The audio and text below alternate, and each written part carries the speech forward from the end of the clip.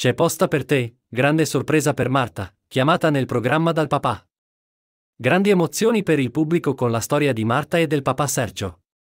È quest'ultimo a chiamare il programma, vuole farsi perdonare dalle figlie perché dopo la morte della moglie Ivana si è trovato solo a crescerle e spesso si è sentito inadeguato. L'uomo crede di averle trascurate e di aver pensato solo alla moglie e al lavoro. L'uomo vuole fare un regalo alla figlia Marta, da quando lei non c'è più mi sento inadeguato, ho paura di sbagliare con voi. Sono qui per chiederti scusa del fatto che magari in quel periodo vi ho trascurato, non vi ho abbracciato abbastanza perché ero troppo concentrato sulla mamma. Voglio spazzarvi via il dolore e regalarvi tanti sorrisi. Ho due figlie che sono migliori di me e sono orgoglioso di dirlo. Un grazie a te per insegnarmi che tanto vale stare sulla terra con il sorriso. Voi siete tutto quello che ho di più speciale al mondo.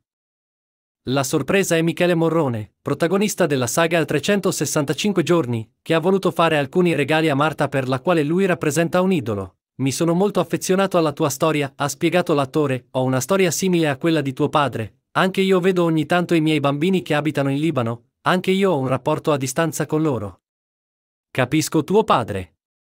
Sono qui perché mi fa piacere conoscerti e mi piacerebbe regalarti qualcosa, che a me ha portato molta fortuna.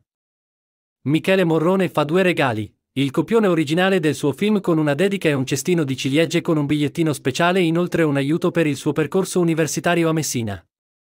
Poi l'attore scherza, so che tuo padre è geloso, è siciliano. E Sergio invita Michele ad allontanarsi dalla figlia. Ovviamente il clima è sereno e ironico. Michele Morrone dice al padre di Marta, bella, educata, capisco perché sei geloso, scherza Morrone con l'uomo. Ti prometto che non sarò più geloso, risponde Sergio, ti manderò una sera a ballare a Catania, solo se attivi la geolocalizzazione.